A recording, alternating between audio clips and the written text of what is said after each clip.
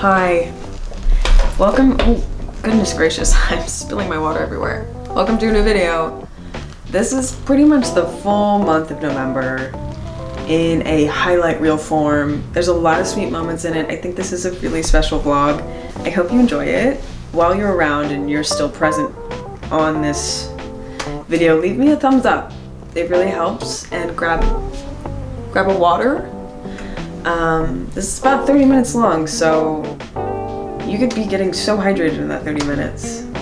That could be really good for both of us. So I think that's it. I'm really just here to say hi. So hi, welcome. I'm happy to have you here. Thanks for pressing play, and I hope you like it. This is my new wave.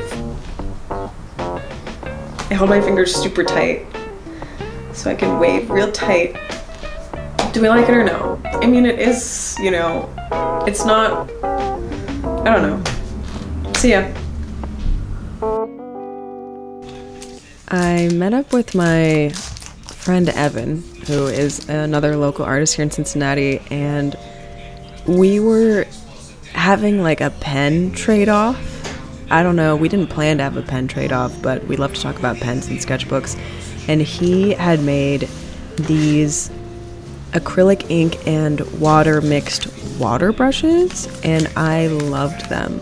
So I immediately went and bought the supplies to make them. It's like 50% ink, 50% water.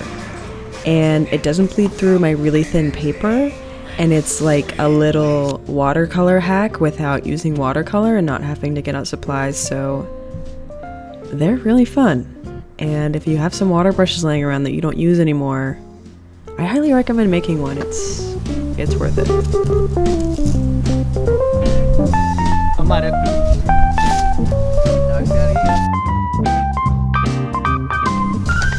I'm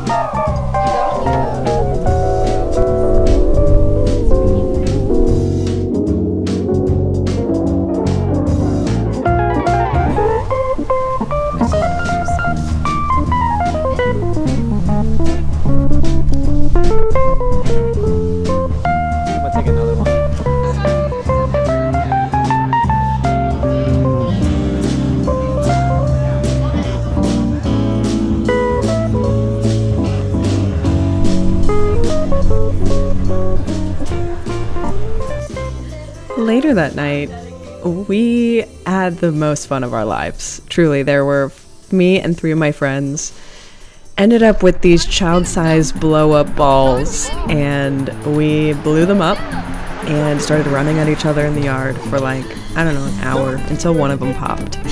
And it was so fun. I'm so glad I have this footage to watch back. I have not laughed that hard in such a long time. So this was like peak joy right here.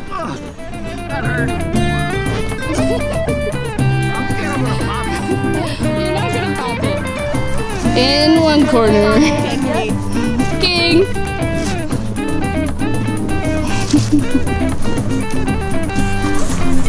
Oh my god! This is an insane thing to be doing in the like.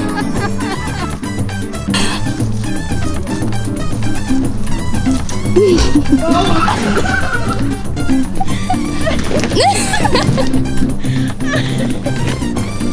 I like when you do that.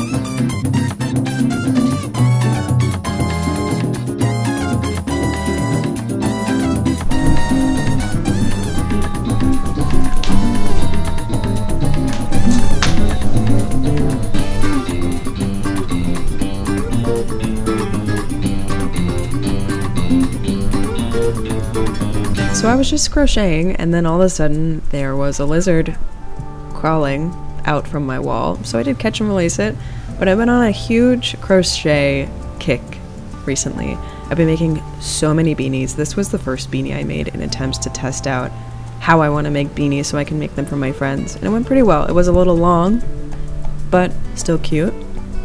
I also went and checked out the local embroiderer that I'm going to try and make baseball hats with. In my last vlog, I was designing a little puppy to put on a baseball hat. God, and. Jess and I went to the great. manufacturer so I could try on the hats because they sent me a bunch of brands I could choose from, but I'm a little particular about how my hats fit. So I wanted to try on the ones that I liked, and I ended up liking the fit of the color that I wanted to pick. So it worked out great, and we're gonna make those sometime. Not sure when, but sometime.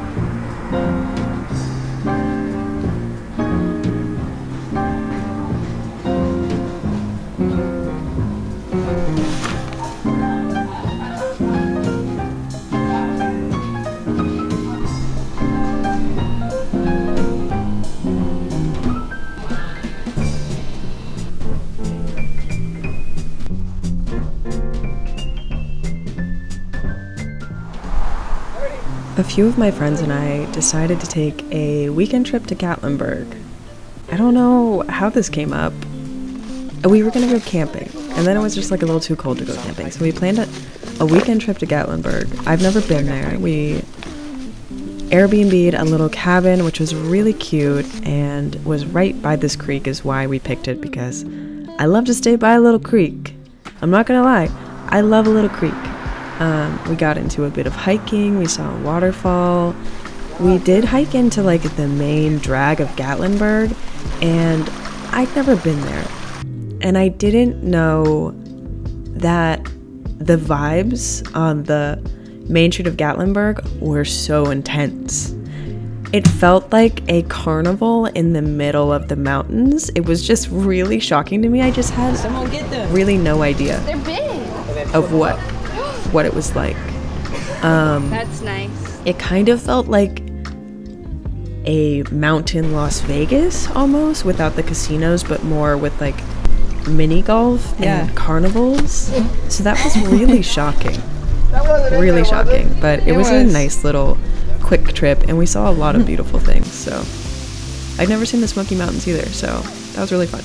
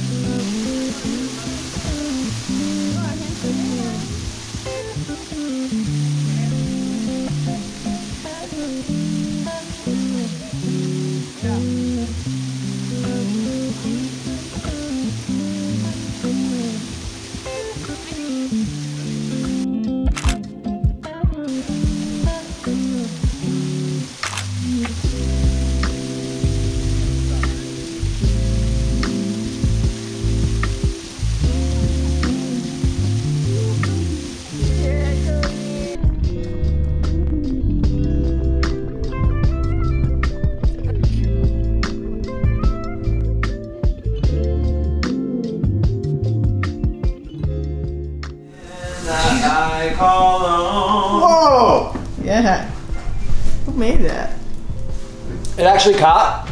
I moved things around and it exploded. Like, oh, the log? I moved the. I added one, and then the other thing. Do you need me? And then the other thing went whoosh. It literally. I don't know. It made a noise. Are we Leigh heard it. Huh? we on? Yeah. It doesn't like it when you're in different places. Back in the car. it doesn't do it justice. Hey, James.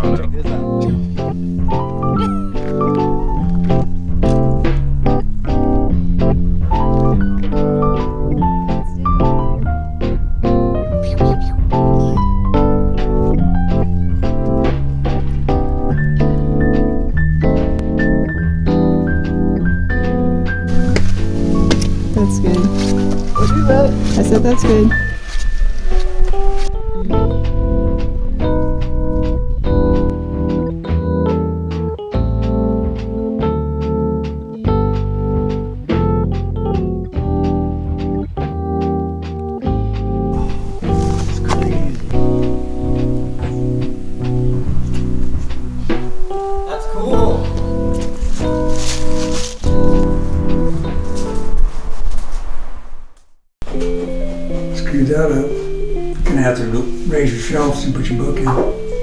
Ah, shucks. I, I just found these and I thought, oh, I want to add. Yeah, that's for turning things inside out. And poking the corners. Because it's more muted. But I'm like stuck in the seam. Oh, I should have just trimmed them. You can trim them. See?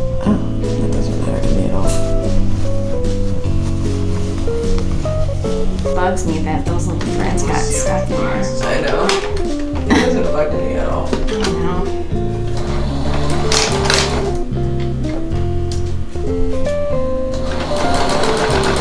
Yeah, that one's really good. That was my first one.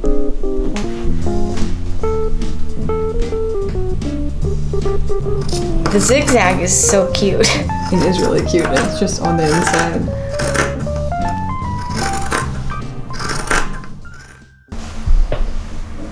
Hi.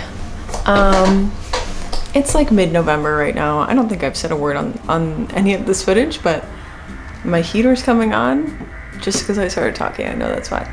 Um, should I turn it off? Also, I want to.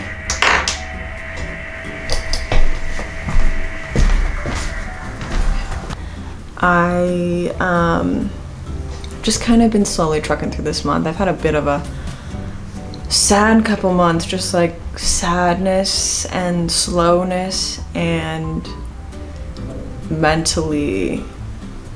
Usually here, I'm like maybe off screen a little bit. So things have been slow, but my friend Dan, who owns Proud Hound, I have previously done a collaboration with them. Proud Hound is a local coffee shop here, and I designed their spring merch. I did a, two t-shirt designs, a tote, stickers, and a thermos. Um, I don't know what's going on with the light here. Um, let's just turn the cam. Hi. It's overexposed right now. It's rainy today. It hasn't been rainy in forever. So I'm wearing rain. This is my rain outfit. He asked me to design a Snoopy inspired mug. So he wants to make a mug, just like a normal ceramic mug and print like a Snoopy inspired design on it. So he asked me to do that. I'm gonna start working on it. Why not? I don't really have a plan. We're going for we're going for cozy, not Christmassy, cozy winter, um, not holiday. So I have to kind of make that vibe happen.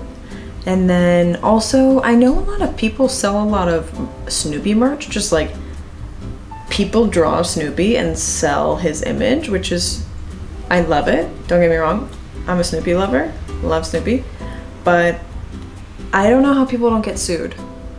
I've even seen people selling Snoopy stuff and it says like Snoopy shirt, Snoopy t shirt, and use his name. Um, so I don't know how that works. But our idea is to just make Snoopy's patterning a little bit different. Dan has a dog named Murray and he has he's black and white and he has just like some um, dark spots around his eye. So we're just gonna do that and not call it a Snoopy mug. Like, it's not worth the risk of getting sued for the design. You know, am I taking it too seriously? I looked it up, okay? I Googled this. I Googled, can I sell Snoopy or Peanut inspired merch? And it's like, no, you will get sued.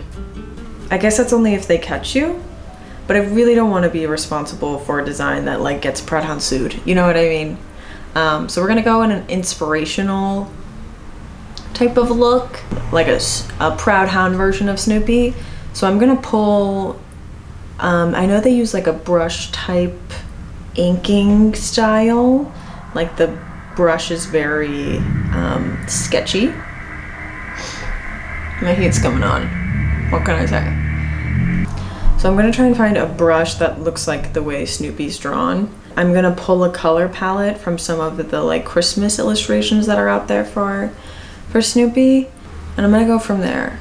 I think I'm gonna go for Snoopy on like a cozy chair with a coffee, or like him outside in a wintry kind of scene with like a box of something. I don't know yet. I don't know yet.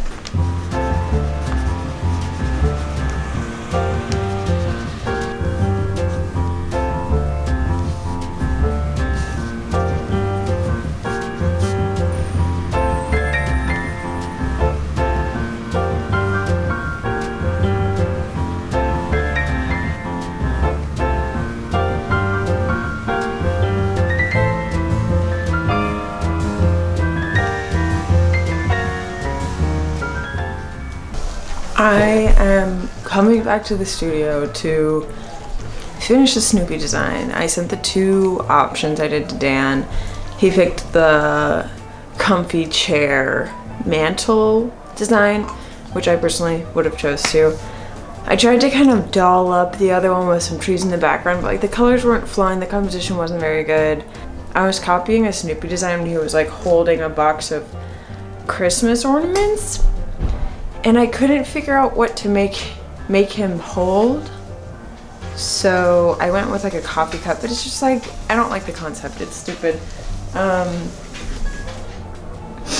so I'm gonna finalize the indoor design now. It just seems like cleaned up a little bit. I am gonna leave it just like, especially the line work. I want to be very sketchy because that's the way Snoopy is to me. There's a lot of different kinds of Snoopy. If you can hear like crowds of people right now, there's an event downstairs. Um, so I'm gonna finalize that now. It's like sunset right now. The studio over there is beautiful. Let me step out so it focuses. It's just like really nice right there. Um, where I'm sitting, it's already it's already set in this area of the studio. But let's get it. Let's get it, boys and girls and theys and thems and everyone. Let's get it, people. Let me take off Toadie's harness. Okay. I also, before I go, I also got this duster today coat. So cute. Let me show it to you. I got it at this um, resale shop. I don't know if I can get far enough away from it. Can you see it? See?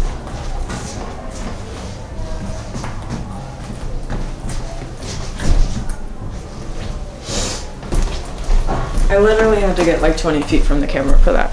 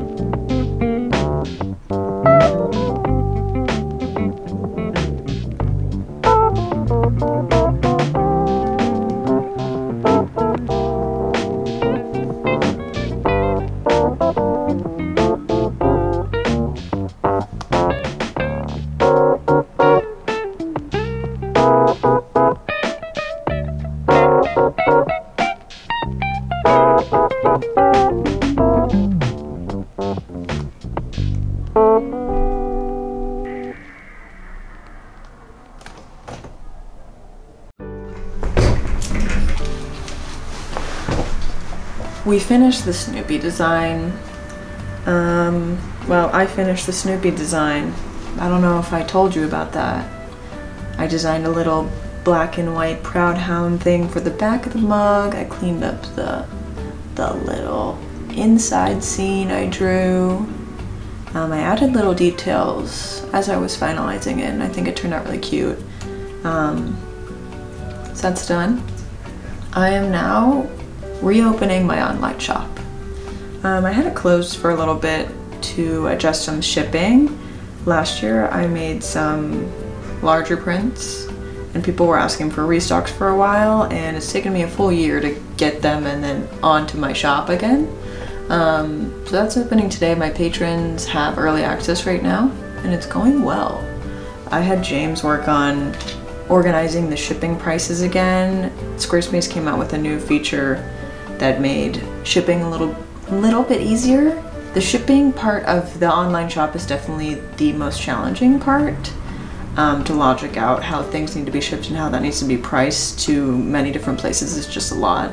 So James, I think handled it okay. It's sometimes hard to tell if it's going well until we start like packing the orders and buying the shipping.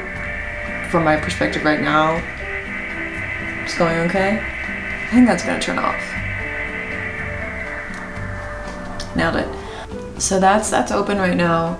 I'm waiting for the public open, so I'm just kind of hanging in the studio until I can open my shop for everyone because I need to be by a computer. That's open. I hope to just leave my shop open until maybe the end of the year. I, I think the, the orders will come in a little bit slower so it won't feel as out of control as other times I've opened my shop um, because there's nothing very new on it. So that should be chill. And that's that. Talk to you later.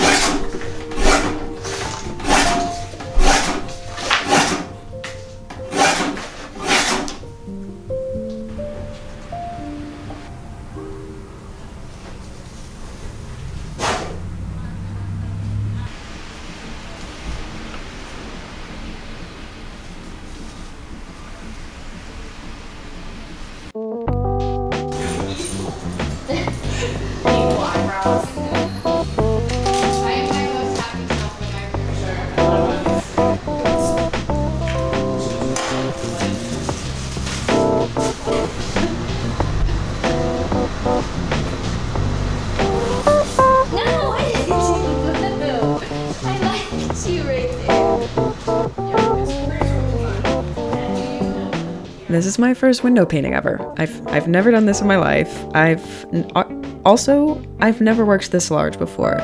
I've made some like generally big paintings, but I've never worked this big.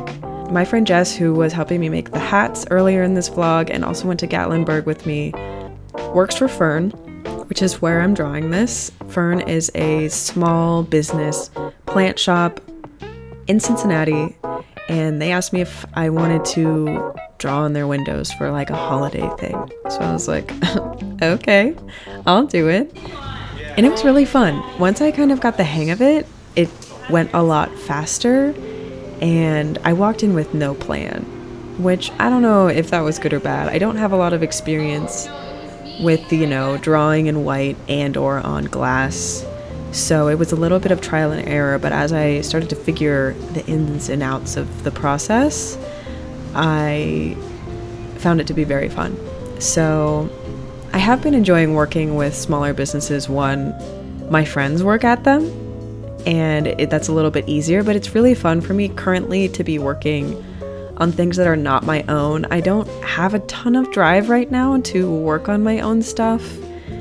It's just, it's not flowing for me. My mental state is low, and I don't have the the the spark to get things going. So I think just someone else asking me to do something and filling the need for someone else is really suiting how I feel right now. And it's really cool that working for Proud Hound on the Snoopy mug and working for Fern on this window design have fallen upon me at this time. Fallen upon me. I don't know about that wording, but you know what I mean. Um, but I think it turned out really cute. It is really fun, like from far away too. This the shop sits back from the road a bit, and you can see the two trees really clearly because they're that bold white.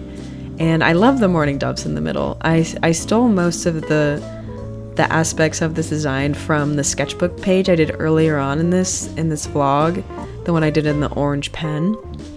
But I'm really happy with it, and I, they said they're really happy with it, so I think I would like to do more.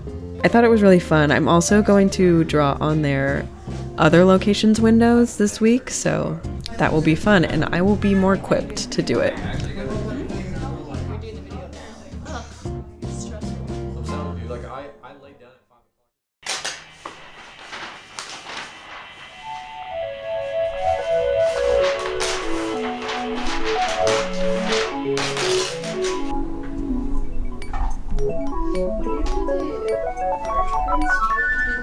Another feature of Jess, Jess pretty much ran this whole vlog. Um, she came and helped me pack some orders. James asked for a day off, so Jess came and helped me, which was so lovely. But I'm gonna do a little shameless plug right now. If you want some more content from me, I, I know I only post one video a month. That's my goal right now, actually. I want to post one video a month on YouTube. Um, I do post one extra video on Patreon if you're looking for a little extra content. I also have a podcast that I post monthly as well. If you like to play my videos in the background, you would definitely like my podcast. I also have monthly postcards and stickers if you're interested in that kind of thing. So I will leave a link in my description if you want to find me there. The postcard for November is so cute. I know this is going to be a little late for that, but I do sell the leftovers in my secret Patreon shop where I sell all my leftover postcards and stickers. So, yeah, that's my little shameless plug for Patreon. I don't feel like I talk about it a ton in my vlogs, so I, I need to do these little plugs, but the shop update went really well. I still have some stuff in stock if you're interested in grabbing one of the larger prints. They've been selling a little bit slower, so I'm hoping the people who want them have time to get them. I don't plan on restocking them after this, so get them while you can. And thank you everyone for ordering from my shop at all. I think that's amazing and I'm really, really grateful. I know small businesses are kind of suffering right now and the world is suffering right now, so it does mean a lot that you're watching this video and anyone out there that has ever ordered from me has ever ordered from me. Like, blows my mind. So thank you.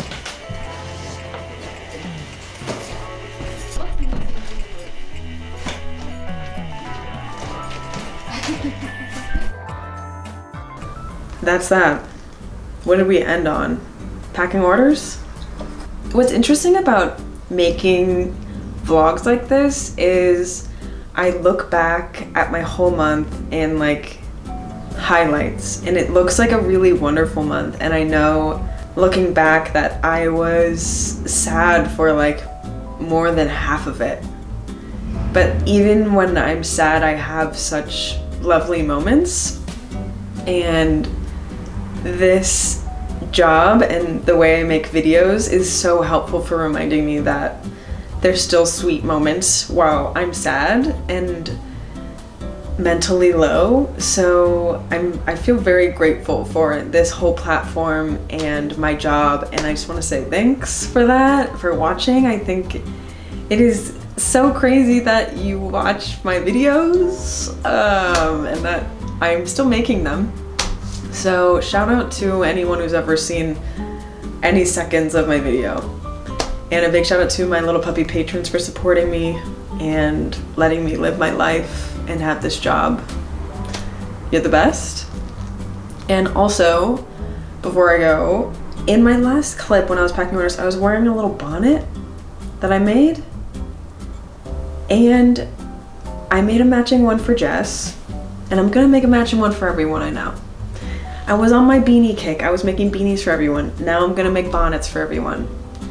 It's just so fun.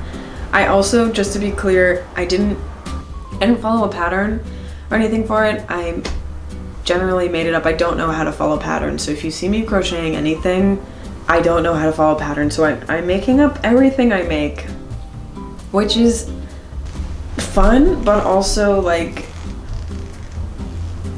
I do wish I could follow a pattern so I could make other things besides what I'm capable of making. You know what I mean? Anyways, um, the bonnet is a huge highlight of my life right now. I love wearing it.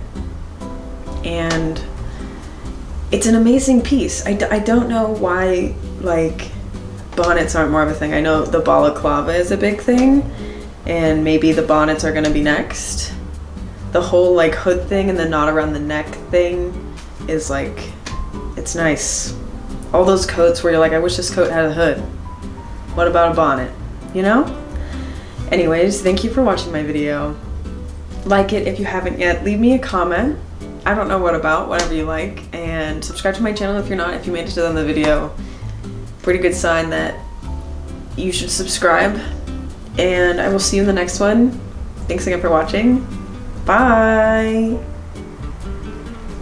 Oh, that's my new wave. See ya.